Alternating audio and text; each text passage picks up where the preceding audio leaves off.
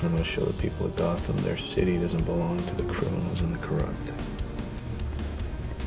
People need dramatic examples to shake them out of apathy, and I can't do that as Bruce Wayne. As a man, I'm flesh and blood. I can be ignored, I can be destroyed, but as a symbol, as a symbol, I can be incorruptible. I can be everlasting.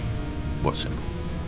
Something elemental, something terrifying. Batman.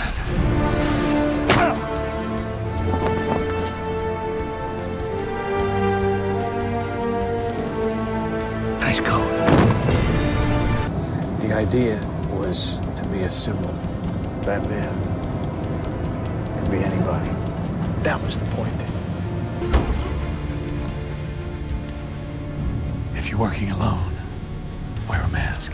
I'm not afraid to be seen standing up to these guys. The mask's not for you. It's to protect the people you care about.